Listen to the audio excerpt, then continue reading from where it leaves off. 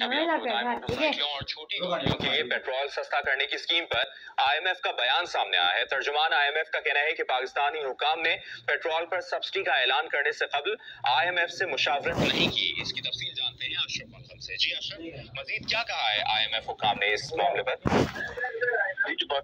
ترجمان I M C کہنا تھا سسٹر پٹرول فراہم کرنے کی اسکیم کا اعلان پاکستان نے کیا، اس میں آئی ایم ایف سے مشاورت نہیں کی گئی۔ ہم اس کا جائزہ لے رہے ہیں، پاکستانی حکام سے بات بھی کر رہے ہیں کہ اس میں کتنے اس پہ پانچ بےکار ہوں گے کتنا ٹوٹل خرچ جائے گا کتنی سبسڈی انوالو ہوگی، اس میں فراڈ کو کس طرح روکا جائے گا۔ ساتھ انہوں نے کہا کہ جو بہترین طریقہ ہے مستحقین کی مدد کرنے کا کفالت کیش کے ذریعے براہ راست مدد ہو سکتی ہے۔ تو ہم اس پہ، اس مسئلے کو پاکستانی حکام کے ساتھ اٹھا رہے ہیں۔ جبکہ وزارت خزانہ حکام کا کہنا ہے کہ اس خواتین میں حکومت کی طرف سے کسی قسم کی سبسڈی شامل نہیں ہے۔ جب وزارت پیٹرولیم خود ہی اپنے سورس سے کر رہی ہے، حکومت کی طرف سے جب وزارت خزانہ کی طرف سے اس کے لیے کسی بھی قسم کی کوئی سبسڈی فراہم نہیں کی جائے گی۔ جی۔